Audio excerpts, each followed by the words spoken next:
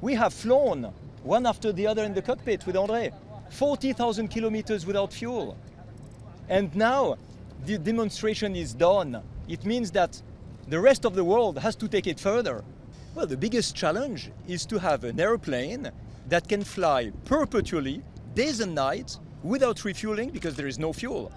Vous savez, quand vous faites quelque chose qui n'a jamais été fait jusqu'à maintenant, tout est difficile. Tout doit être inventé. Vous pouvez copier personne. Il n'y a pas de benchmark.